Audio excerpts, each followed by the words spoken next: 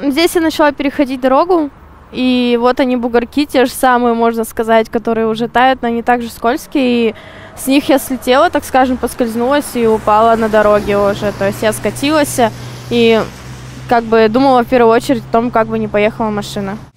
От трагедии Леру спасли подоспевшие прохожие, усадили на скамейку возле остановки и попытались вызвать скорую. В ожидании приезда медиков неожиданно появился тот самый незнакомец.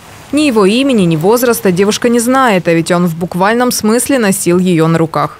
Он привез меня в приемный покой из машины, также он меня взял на руки, принес, также посадил меня с рук – помог с документами, все оформить, то, что меня врач принял, у него вещи в гардероб, ну, а потом как бы я позвонила подруге, подруга ко мне пришла, но в суете я не успела взять номер этого мужчины или даже машину не запомнила, чтобы потом как-то благодарить.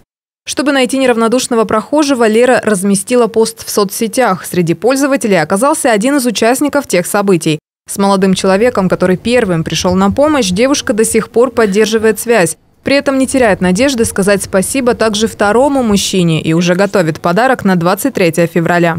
Так просто оставлять тоже сейчас, тем более, мне кажется, мало таких людей, которые такие отзывчивые, чтобы вот так вот. Другой мог просто поднять, а тут даже до больницы довезли. В итоге поход за шоколадкой обернулся для Челябинки переломом ноги со смещением. Окончательно распрощаться с гипсом Лера сможет не раньше, чем через две недели. Теперь пострадавшая надеется, что огласка истории привлечет внимание еще и коммунальщиков. Еще хотелось бы сказать о том, чтобы дорожные службы позаботились о наших дорогах, потому что не я одна такая, хожу также пожилые люди, ветераны и маленькие дети, которые также могут подскользнуться и упасть. А еще, не дай бог, на дороге, что очень плохо, и не хотелось бы, чтобы повторялись такие случаи.